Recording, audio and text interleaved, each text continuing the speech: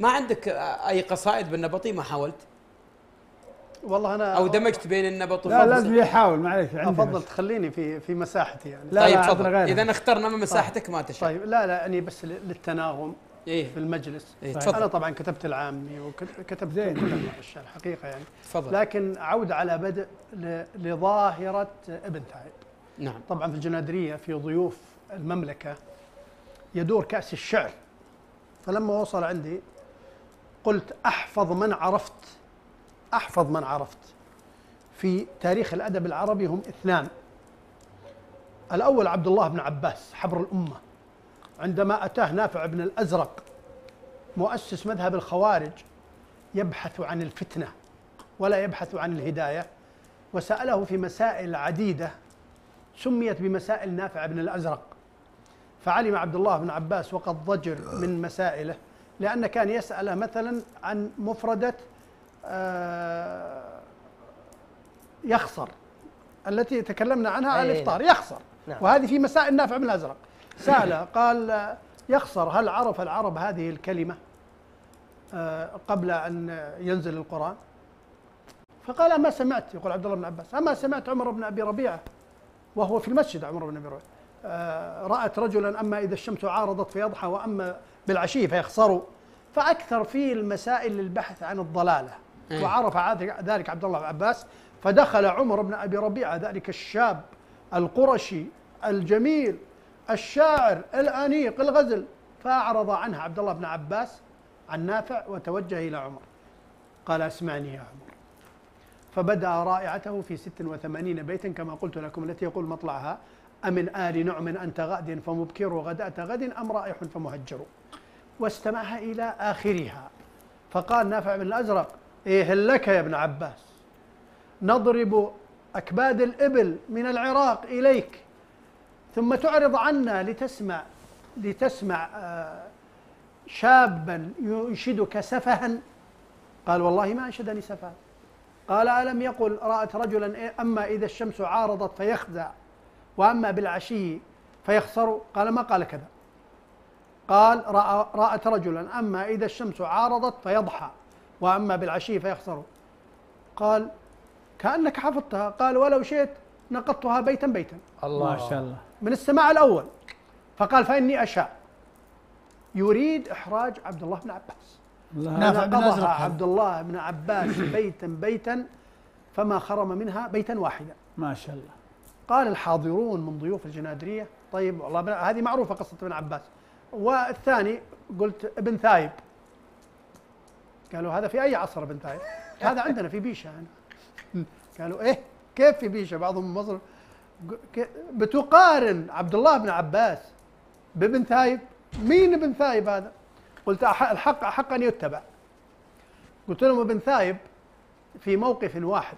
والله وأنا عندكم الله يمسيه. بالخير الله ويعافيه يشفيه قلت ابن ثايب في موقف يا واحد. ابو أنا اتفيك يا ابو عبد الله. والله تجلس لا والله. والله تجلس. والله. حلف بالله. والله تجلس والله تجلس.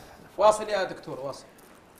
قلت للأخوان قلت ابن ثايب في موقف في موقف واحد أتى بستين بيتا. الله يسعدك. وليد اللحظة. ولم يخرم منها بيتا واحد. آه، آه، من قوله ولا من منقول؟ من قوله. قوله الله. نعم في حفلة. من قوله في حفل. وكان طبعا ردية لكنها ردية الشجر ما هي ردية اي معروفة معروف. إيه؟ لون معروف وكان ما وكان بس- ردة من أقوى ما استمعت إليه. نعم. لأن هناك شاعران جاء إلى الحفل لتخريب الحفل عليه باختصار. إيه. وجاءوا ب 120 بيت. إيه إيه، بعضهم. هو صالح بن عزيز. معروفين لا لا ما هو صالح سعد. سعد. وسعد بن سعد عزيز. بن عزيز والغويد فجاءوا ب 120 بيت. الذي لا يصدقه العقل لا يصدقه العقل. أي نعم.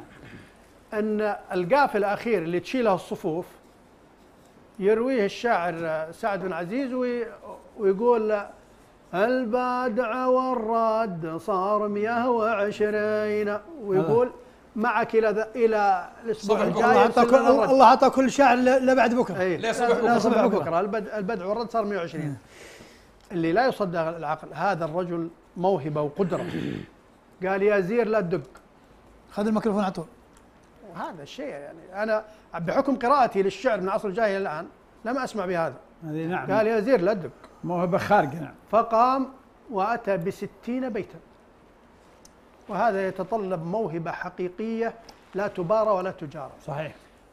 وأنا أريد أن أفصل في هذا الشعر تأصيلا لفائدة المتابعين. إيه. شعر الشقر طبعا هو شعر أصيل في أدب العرب ويسمى الجناس التام والجناس الناقص. نعم.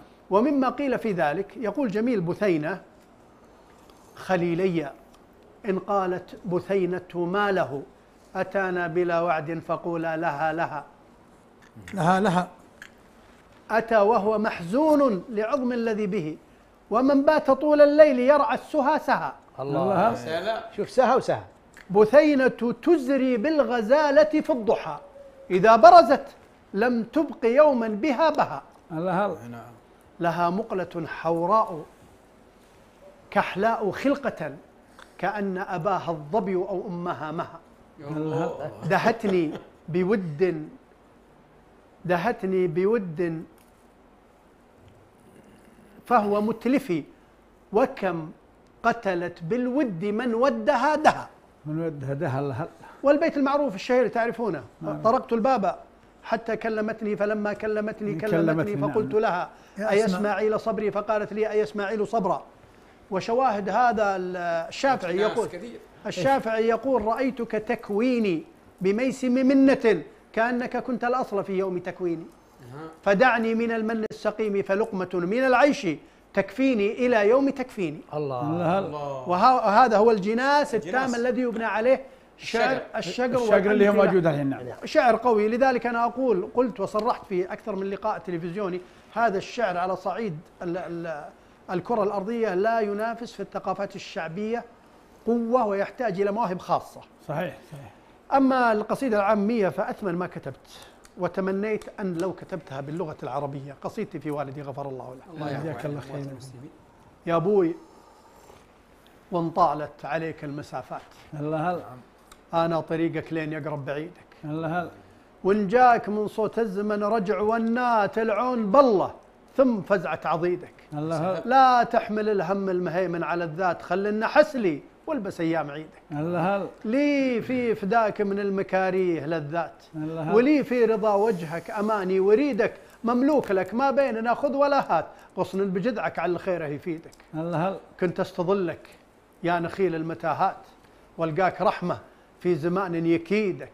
والمح عروق جسدتها المعاناة تشمخ شموخ الضلع في ظاهر إيدك. ما بين قلبك فيه شدة ورحمات. تصدقني وعودك وتخلف وعيدك. أمشي بنورك لو غدا العمر عتمات واطرب لصوتي لو سجع من قصيدك. خذ من ضياء عيني عزوم البدايات وخذ من دفا قلبي رسائل بريدك. في وجهك المعروف رحال ما بات. يرحل لمن يمنعك ولا يزيدك. لو في الكفوف من المعاريف كيات. العقل سيدك والجمائل عبيدك. أرسل حنيني فوق خفاق الأبيات ولا قصيدي. كيف يوصل بعيدك الله أكبر صح طيب لسان الله. وجهك ويستاهل وجهك. والدك الله يغفر له. الله يغفر نعم له. إنه وإياه بعفو ورحمة والدينا والديكم